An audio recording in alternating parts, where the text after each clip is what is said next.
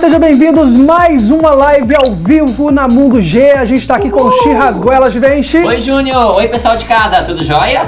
Gente, a gente tá ao vivo para todo o Brasil aqui na nossa página no facebook.com barra MundoGTV. Hoje fazendo uma live muito carinhosa e muito solidária, né, Chirras? Afinal de contas, aconteceu um evento super bacana lá no Giz Mais, que foi o Lanche Carinhoso. E a Mundo G foi lá ver o que aconteceu nesse evento, viu, Júnior? Bom, a gente quer saber de você aí. Hoje, embora a gente esteja passando por uma crise muito grande, o país vem enfrentando uma situação financeira tremenda, né, Chirras? É E muitas das vezes a gente reclama tanto da vida da gente, ah, tá faltando, ah, eu não tenho, não tenho isso, não tenho aquilo, ah, eu não tenho o que comer, ah, só tem arroz e feijão, né?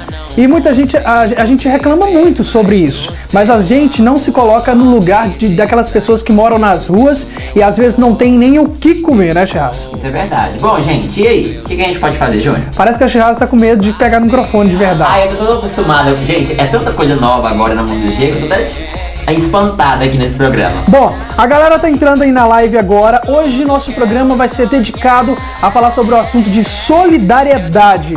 O que, que é ser solidário para você, Jazz? O que, que é ser solidário?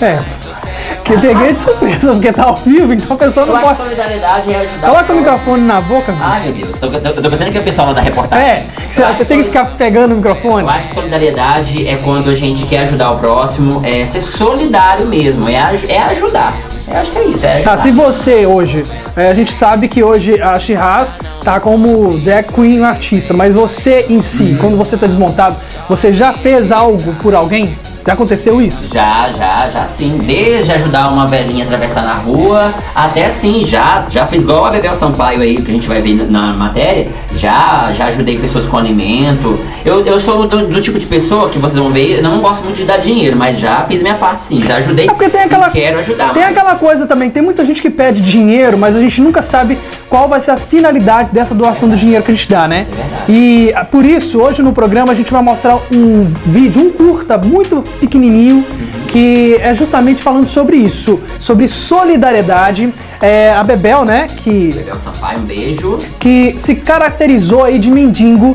Nós somos Azul de Belo Horizonte, então ela pe- pediu é, para com que as pessoas comprassem é, algum lanche ou ajudasse financeiramente. E a gente teve uma surpresa muito grande, que é o que você vai acompanhar hoje nesse programa, nessa live especial. É um programa bem emocionante, pelo, É, hoje pelo, é. pelo meu ver, viu? Eu, eu creio que é, no Facebook, vocês estão ass- assistindo aí agora, a gente- às vezes a gente assiste tantas coisas que a gente se emociona e tem coisas também que publicam no Facebook que nem deveriam estar aí. Mas hoje a gente garante para vocês que é um programa muito emocionante, falando sobre caridade, sobre o que é ajudar o próximo e você vai sentir na pele o que a Bebel passou se vestindo de mendigo. É, a, a- a Rafaela Santos está entrando aqui na live, tá perguntando a Chirra sobre esses orelhões. Ah, tudo bem? Olha, espero que tenham gostado. Eu faço uma elfa aqui no programa e a orelha é um complemento da minha personagem. Vamos aproveitar aqui então, deixa eu só mandar um beijo pra quem tava lá com a gente nas gravações. Evelyn Loren e vamos mandar um super beijo pro Edmilson, viu? Bri- Obrigada por estar acompanhando a- o Júnior Vieira, o Léo, né? Lá na gravação do Dia da Bebel. É, né, as pessoas que ficaram envolvidas por essa mega gravação, o povo pensou que até era programa do Gugu, né? é? E que, qu- quanto é que eu vou ganhar? Não, né, você não vai ganhar, você vai, rece- você vai receber é, é, é, o carinho das pessoas que vão estar recebendo a sua doação. Bom, estamos falando demais aqui, obrigado ao pessoal aí do Rio de Janeiro, São Paulo, pessoal de Florianópolis, pessoal de Ipatinga, Divinópolis, um beijo pra vocês aí. Obrigado aos, às páginas parceiras que publicam, compartilham a nossa publicação. Se você tá gostando, compartilha, curte. E você vai sentir agora na pele um, uma- um vídeo muito bacana, solidário, com a Bebel, é, vivendo na pele como os mendigos vivem. Então, É o quadro Invisível. é invisível pra galera. Criamos agora, né? Roda aí então, daqui a pouco a gente volta. Sai daí. O que você faria se um morador de rua chegasse próximo de você e te pedisse para poder comprar um lanche?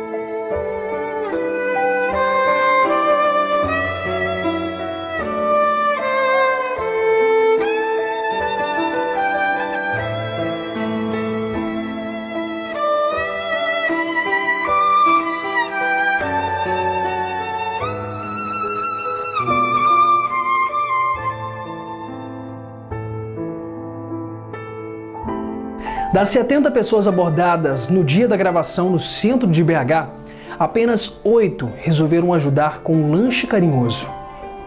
E com essa linda atitude, elas nos contaram sobre a importância de sermos solidários com o próximo. Eu me chamo Maria das Graças, conhecida no bairro Pindorama por a Paraíba masculina, mulher maciou. A menina aqui me pediu uma ajuda e eu tenho uma, me pediu uma maçã e eu tenho a maçã, ela daria até mais se ela quisesse. Porque esse é, é, é a minha missão aqui na Terra, ajudar o próximo sem olhar quem, não importa quem seja ela. Assim eu ajudo qualquer pessoa. Então, hoje o ser humano, ele não está tendo amor ao próximo como deveria estar. Quando eu vejo qualquer pessoa, não importa quem seja, se eu pudesse, eu levava para minha casa nem todo mundo, né, para para ajudar outra pessoa, assim. Aí eu acho que todos têm que ajudar, sabe? Mesmo não tendo, né? Às vezes a gente tem um pouquinho, mas tem que ajudar. É, eu senti necessidade de ajudar porque eu não gosto de ver ninguém com fome, tá? Na hora eu não entendi o que, que ela falou. Quando eu passei, aí que eu caiu o que, que é que ela tinha falado, aí eu voltei. Muita gente tem medo, né? De ajudar, às vezes de falar, né? Mas é, tem muita gente boa ainda. Uai, é, como eu vi ela, né, como se fosse precisando mesmo, aí eu achei que eu gosto de ajudar, né? Achei que ela estava com fome toda, aí eu ia compartilhar com é, ela. Mas né? geralmente as pessoas realmente estão mais egoístas mesmo, pensando só em si. Estão com o coração mais duro, até mesmo não é por, no sentido de de ser ruim de não querer ajudar. Eu penso que é no sentido de medo, de insegurança, né? Porque a violência está muito grande, né? Está muito, né? muito alta, né? A, a, a, taxa de mortalidade, de violência, né? Com o ser humano. Então aí por isso que a gente pensa assim. Eu acho que as pessoas pensam é mais nessa insegurança. Mas no sentido de ajudar, não, quando pede alguma coisa de comer, eu acho que as pessoas têm um coração bom de querer ajudar. Porque eu gosto de ajudar o ser humano, eu gosto de ajudar todo, eu tenho um coração bom. Se eu pudesse, eu, eu levava todo mundo para minha casa para ajudar o ser humano. A gente tem que ajudar o ser humano, a gente não pode ser egoísta. A gente não pode pensar só na gente, porque a gente tem filho, tem família, tem neto, então a gente tem que sentir aquele amor do ser humano. Eu sou muito ser humano, eu gosto muito de ajudar o próximo. A solidariedade não é só de dar uma alimentação, te dar até uma palavra amiga, falar do Senhor Jesus Cristo, ter o um amor dentro do coração. Isso para mim que é, o, que é o ser humano. Não, mesmo antes de eu ser evangélica, eu sempre tive esse amor dentro do meu coração de ajudar o próximo. Olá, gente, o projeto Lanche Social. Hoje nós estamos aqui na Praça 7 de Belo Horizonte, tá ok? Eu me caracterizada como moradora de rua, estou passando na pele aquilo que ele sente. Nós fizemos uma pequena curta-metragem para vocês verem o que, que eles sofrem invisível que são essas pessoas. Olha, hoje algumas pessoas pararam, algumas pessoas não pararam, algumas ficaram sensibilizadas, outras não, outros fizeram, a grande maioria fez a indiferença. Na abordagem a essas pessoas, a maioria se fala o medo, mas o medo de quê? O medo de ajudar, o medo de, de se dar. Qual é esse medo que a sociedade tem? Então, pagaram para mim sanduíche, pagaram para mim Coca-Cola, pagaram para mim bastante coisa. Isso é bom, é? Contribuir é bom, é? Imagina se cada um de você agisse dessa forma, ajudasse, entendeu? Olhasse. Mas a sociedade não olha. Essas pessoas como eu sou invisível no mundo da sociedade, onde milhões e milhões de pessoas passam como passaram nesse momento e foram poucas que pararam e deram um pouquinho de atenção. Doe um pouquinho de você, doe um sorriso, doe um abraço, doe um leite, doe um Todd, entendeu? Doa, doa um pouquinho de você que é ser humano, porque se cada um doasse um pouquinho, o mundo seria melhor. O ser humano hoje está muito egoísta, entendeu? E não pode, devemos ser assim. Deve, devemos olhar o próximo, porque todo mundo é igual nesse mundo. Olha, passei aqui, chorei, me emocionei, é rir, entendeu? Foi muita emoção assim, uma só. Então só você passando e vivendo isso daqui que você vai entender. Olha, O projeto Lanche Carinhoso, gente, olha, nasceu. Esse projeto já vem da tempo, porque eu ajudo os moradores de rua em Milano. Então, em Belo Horizonte, esse projeto nasceu agora tem pouco tempo que eu estou idealizando esse, processo, esse projeto junto com as pessoas, a equipe que está abraçando ele. Então, todas as quarta-feiras a gente sai da estação ali do JK, andamos no centro da cidade de Belo Horizonte à procura dos mendigos, dos moradores de rua, para a gente distribuir o lanche carinhoso. O, o projeto Lanche Carinhoso depende de você, depende da sua doação, depende muito de você para esse projeto continuar. Agradeço a todos vocês pela contribuição e tá aí. Vamos abraçar o projeto e juntos vamos que vamos. Obrigado a todos.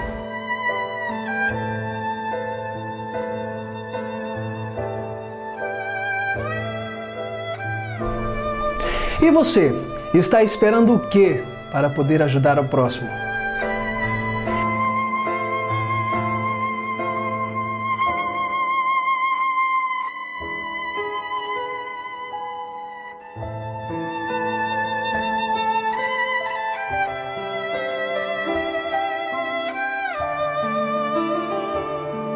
De volta com o programa Mundo G ao vivo para todo o Brasil. Obrigado ao carinho, a atenção que vocês estão dando a gente no Facebook agora, né, Chaz? Galera soltando coraçãozinho aí, Adorei, falando desses obrigado, orelhões da Chirraz aí que tá enorme.